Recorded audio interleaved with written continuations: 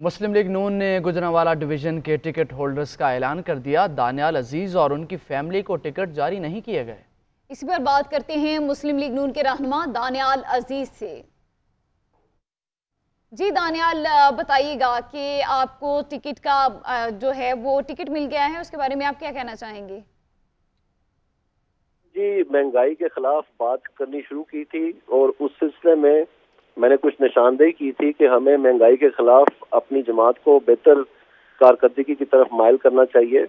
और उस महँगाई मुखालफत में जो मुझे सजा दी गई है वो आपके साथ। इसका मतलब ये नहीं है कि महँगाई की मुखालफत करनी मैं छोड़ दूँगा। जी, बिल्कुल लड़ूँगा आज़ाद। वो तो जाहरी बात है, वो तो खिलाफ तो आ गया सामने। उसको तो टिकट दे दी। जी, ये एहसन इकबाल साहब की जिद है। उन्होंने अपने बेटे को एम पी ए बनाना था तो ये उनकी अपनी हैसियत नहीं थी तो फिर उन्होंने अपने जाती कागज़ जमा करवा दिए पार्टी को ब्लैकमेल करने के लिए, और फिर ये भी धमकी दी कि मैं पार्टी छोड़ दूँगा और मैं एन एच छहत्तर से इलेक्शन नहीं लड़ूँगा, फिर अगर मुझे नई टिकट मिलती। तो इस किस्म की सूरत में जो महँगाई की आवाज़ उठाने के लिए जो है सजा दी गई है। लेकिन उसके नतीजे में एक शख्स की जिद जो है, वो प्रवेल कर गई है।